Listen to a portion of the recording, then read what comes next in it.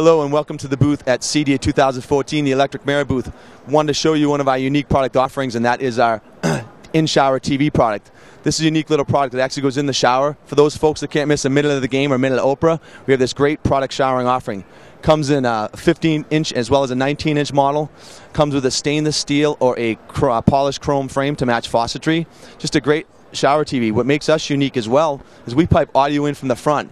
Most everyone else pipes audio in from the top. We have UL approval, so we give you a nice marine grade speaker right in the front of the unit. So whether it's at the end of a tub or inside a shower itself, that's a great offering.